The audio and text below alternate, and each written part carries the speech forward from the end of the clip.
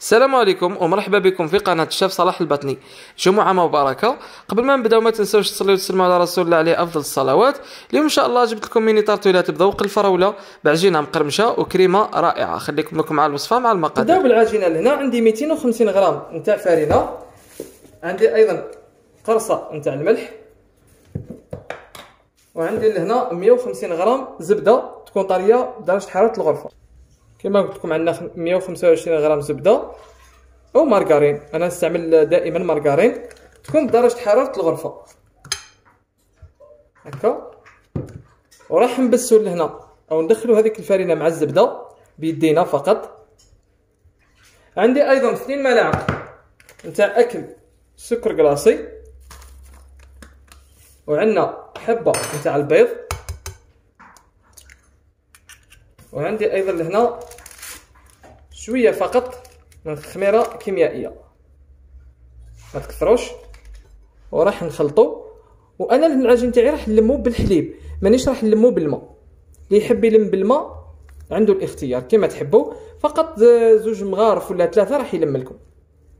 كما قلت لكم راح نزيد فقط 2 ملاعق تاع حليب. لا أكثر ولا أقل. ماهوش راح يدي لكم بزاف. ونلموا لهنا العجين تاعنا أو لاباط تاعنا. راهي ما تعجنش فقط تلم.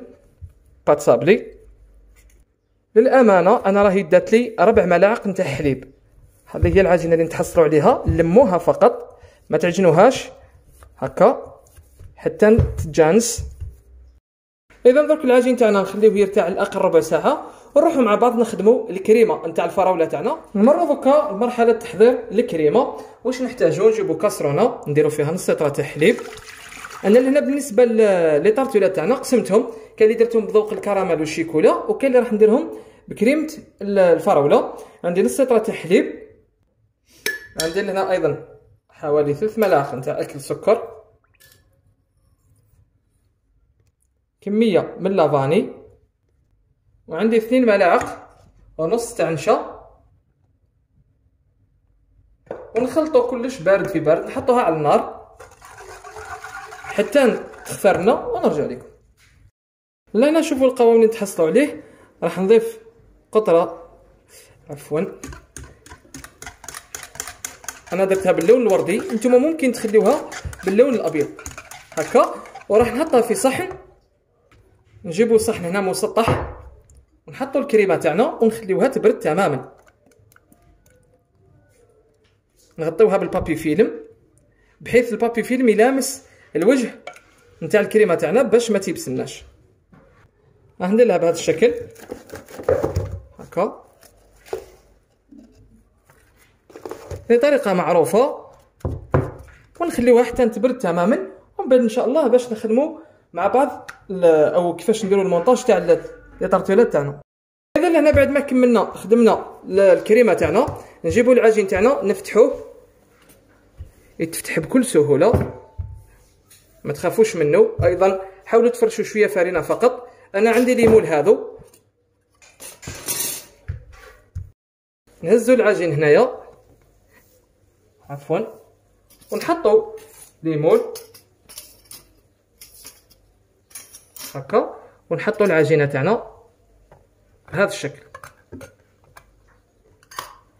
خليو العجين تاعكم يرتاح مليح. ونفوت عليها بهذه الطريقة. القنوط فقط.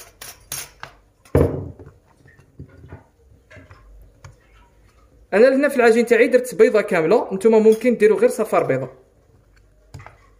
باش العجين تاعكم ما يتكمش لكمش.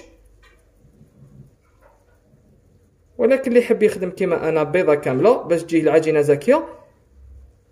عنده الاختيار. دوكا نخدمهم كامل بنفس الطريقة. حتى النوعية الثانية اللي راح نخدمها بالشكل المدور بنفس الطريقة. ومن بعد إن شاء الله نرجع لكم قبل ما نطيبهم. إذا درك بعد ما شكلناهم ثقبوهم بالفرشيطه هكا ونفوتوا من الفرن على 180 درجة. نطيبوهم نعطيهم تحميره خفيفه ومن بعد إن شاء الله نرجع لكم بعد ما طابوا لي طارتولات تاعنا نجيبوا لهنا الكريمة تاع الفراز اللي خدمناها وخليناها تبرد. نعاودو نحطوها هنايا في ريسيبيون. خلطوها مليح بالفرشيطة. ممكن ديروا غير ال batteur ولكن يعني بلا ما ديروا batteur غير بيديكم هكا راح تولي تليسه لكم بعد ما تليسات الكريمة تاعنا نجيبو لهنا poche à douille هكا. ونعمرو الكريمة.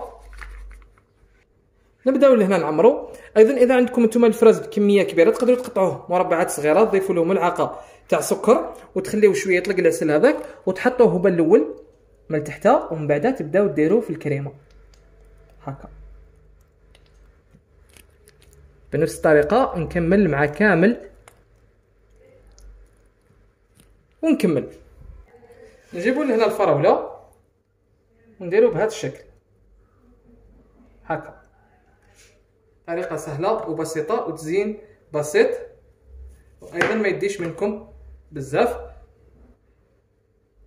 هكا فقط. كما تحبوا نتوما زينوها كما تحبوا. ونجيبو لهنا شوية تاع لا جوري نعطيو بريونس لهنا خفيفة الفراوله تاعنا بهذا الشكل.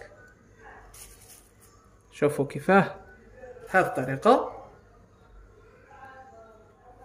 ونخليهم حتى يبردوا تماما ومن بعد إن شاء الله نقدمه إذا رجعت لكم مع النتيجة الأخيرة أنا هنا ما نسيت باش نقسم لكم. العجينة جات هشيشة وجات croustillante رائعة. والكريمة أيضا ولا أروع.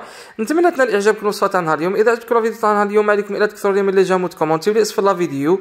وإذا عجبتكم قناتي ما عليكم الا ديروا اشتراك ولا abonnez ولا subscribe. تفعلوا زر الجرس باش يوصلكم كل جديد نتاعي. ما بقى لي نقول لكم شهيتكم بالصحة. تلاقاو في عدد آخر. تهلاو في رواحكم. صحة فطوركم وسلام.